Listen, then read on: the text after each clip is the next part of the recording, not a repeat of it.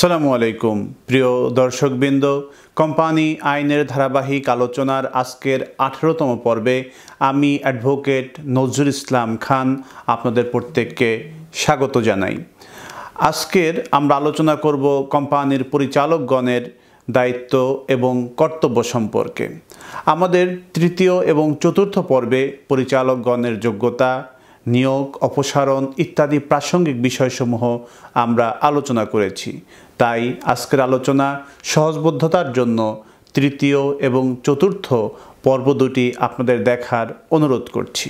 প্রাথমিকভাবে কোম্পানির দুইটি কালেকটিভ অর্গান পরিলক্ষিত হয়, যথা বোর্ড অফ ডিরেক্টরস এবং সাধারণ শেয়ার হোল্ডারগণ ঐতিহাসিকভাবে কোম্পানি পরিচালনায় সদস্যগণের সাধারণ মিটিংয়ে গৃহীত বিশেষ সিদ্ধান্ত প্রাধান্য লাভ করে এবং পরিচালকগণ তা মেনে চলতে বাধ্য থাকেন। কোম্পানির প্রতি পরিচালকগণের দায়বদ্ধতা ফিডুশিয়ারি প্রকৃতির।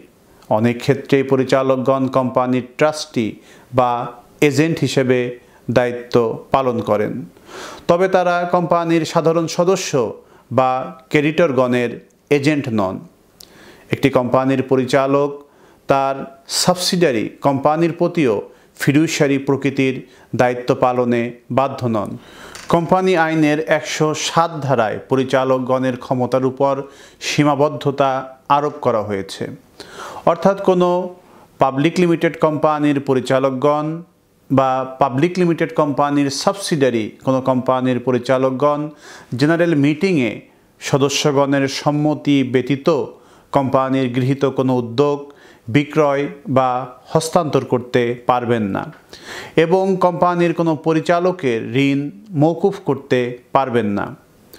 কোম্পানির পরিচালকগণের কার্যক্রম সদস্যগণের স্বার্থের পরিপন্থী হলে সদস্যগণ স্পেশাল রেজুলেশনের মাধ্যমে আর্টিকেল সংশোধন করে পরিচালকগণের ক্ষমতা হ্রাস করতে পারেন। এমনকি পরিচালকগণকে অপসারণ করতে পারেন। পরিচালকগণের দায়িত্বকে প্রধানত দুইটি ক্যাটাগরিতে ভাগ করা যায়, যথা ডিউটি অফ লয়ালটি এবং duty of care. Duty of লয়ালটির আলোচনায় শুরুতেই আসে এখতিয়ার বহির্ভূত কাজ হতে বিরত থাকা। কোম্পানির মেমোরেন্ডাম অফ অ্যাসোসিয়েশন এবং আর্টিকেলস অফ অ্যাসোসিয়েশনে বর্ণিত ক্ষমতার মধ্যে কোম্পানির পরিচালকগণ প্রপার উদ্দেশ্যে তাদের উপর অর্পিত দায়িত্ব সম্পন্ন করবেন। ইমপ্রপার উদ্দেশ্যে পরিচালকগণ কোনো সিদ্ধান্ত গ্রহণ করবেন না।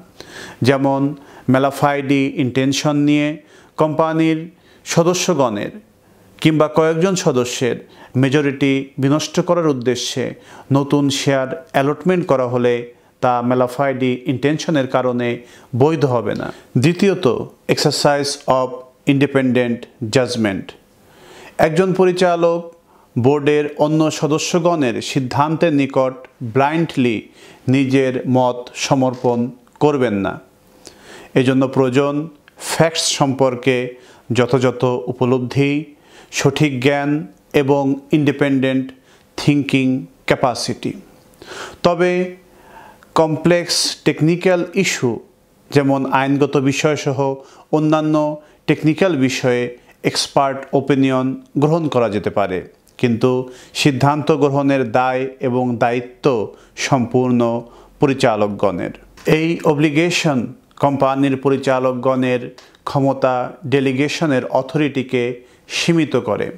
তবে কোম্পানির আর্টিকেলস অফ অ্যাসোসিয়েশনে পরিচালকগণের ক্ষমতা ডেলিগেশনের স্বল্প পরিসরে ডেলিগেশনের অনুমতি থাকতে পারে। তবে ক্ষমতা ডেলিগেশনের পর প্রপার মনিটরিংয়ের অভাবে যদি পাওয়ার মিসইউজ হয়, সেক্ষেত্রে পরিচালকগণ দায় এড়াতে পারেন না। এছাড়া কোম্পানির বোর্ডে কোনো নমিনি ডাইরেক্টর অ্যাপয়েন্টেড হলে তিনি সিও ইন্ডিপেন্ডেন্ট জাজমেন্ট এক্সারসাইজ সাপেক্ষে মতামত প্রদান করবেন।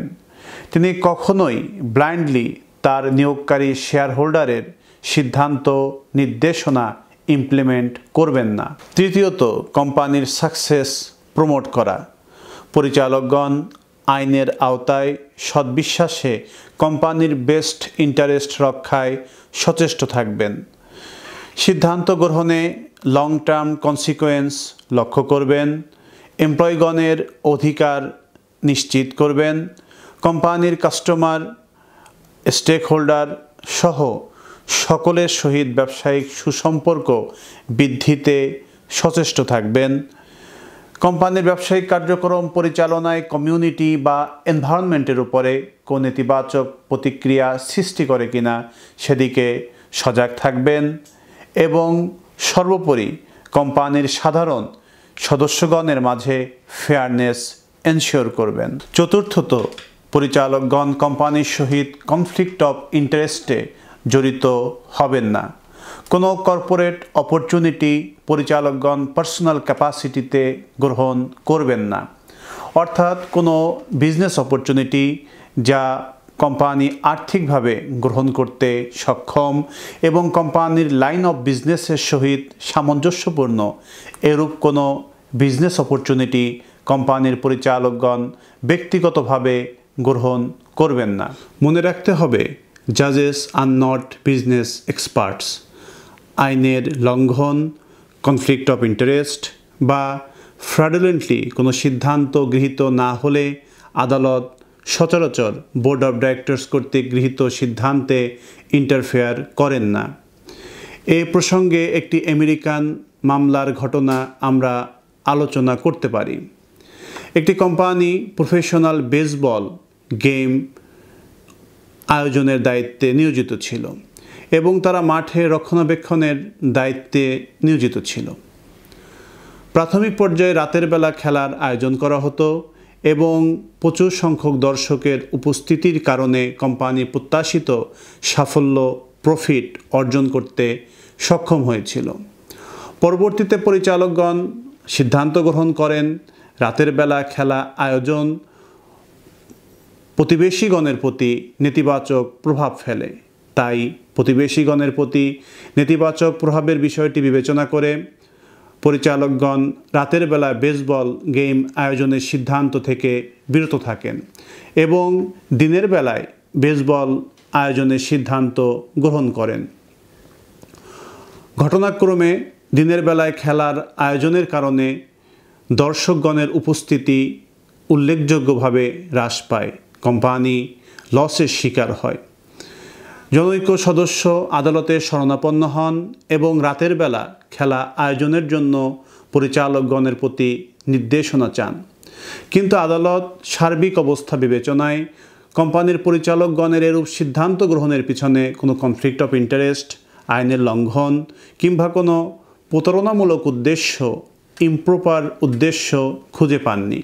তাই এক্ষেত্রে ইন্টারফেয়ার করার পরিচালকগণের সিদ্ধান্ত বাতিল করে দেওয়ার কোনো জাস্টিফিকেশন আদালত খুঁজে পাননি। প্রিয় দর্শক, আজকের আলোচনার শুরুতে আমরা বলেছি পরিচালকগণের দায়িত্বকে প্রধানত দুইটি ক্যাটাগরিতে ভাগ করা যায়, যথা ডিউটি অফ কেয়ার এবং ডিউটি অফ লয়্যালটি আজকের পর্বে আমরা ডিউটি অফ লয়্যালটি সম্পর্কে আলোচনা করেছি।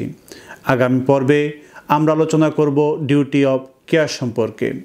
আজকের পর্ব সম্পর্কে আপনাদের যে কোনো মতামত, প্রশ্ন, জিজ্ঞাসা কিংবা যে কোনো আইনি জিজ্ঞাসা স্ক্রিনে প্রদর্শিত ইমেলের মাধ্যমে আমাদেরকে জানাতে পারেন।